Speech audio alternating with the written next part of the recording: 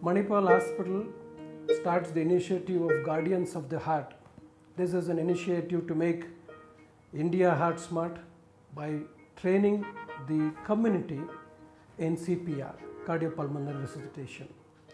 We know that the cardiac emergencies can happen anywhere unnoticed. So any one of us can face an emergency. By training community people to identify it, resuscitate someone until a proper medical help comes to them, we can save lives.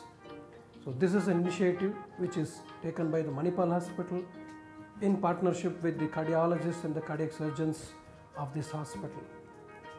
I, Dr. Devananda, pledge my support to this program and I expect more and more people to join the same.